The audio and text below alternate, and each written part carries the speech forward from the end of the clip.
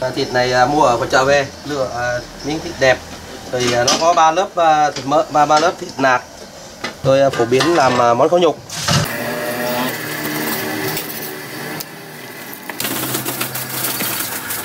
Cách chế biến thịt Rồi, cho nó hết cái phần lông rồi những cái phần da heo nó bị dơ.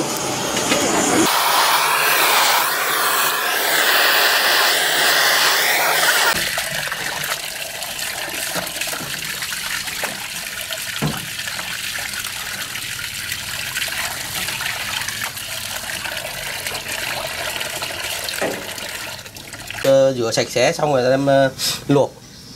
Luộc khoảng ờ, tầm ờ, nửa tiếng. Cho nó thịt nó da nó mềm rồi đem ra mình lại sơ chế. Rồi.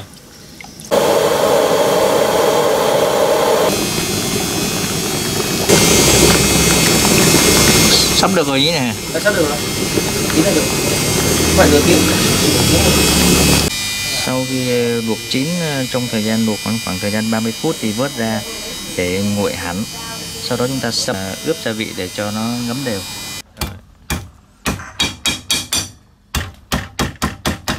Cái này là nước ờ, tương.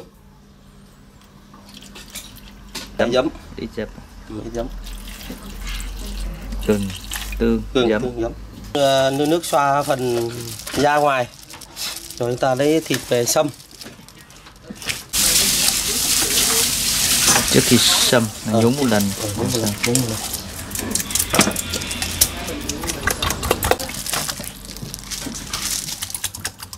À, thôi. xâm đều để Ừ, cho xâm khi đều. ướp ờ, thấm gia vị rồi Ừ. khi ờ, chiên lên hả rồi. khi trên để cho nó phồng lên nó đẹp khi chiên nó không có đều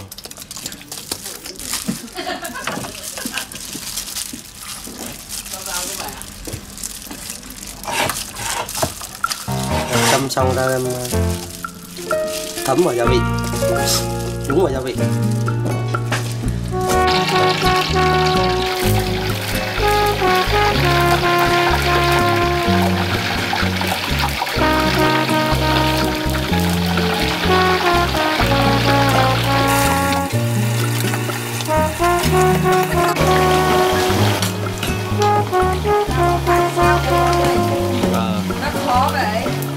có nguy hiểm chứ. Phải bị đeo kiếm rồi đi cái này không làm không quay nhé chụp cái nắp vào vào.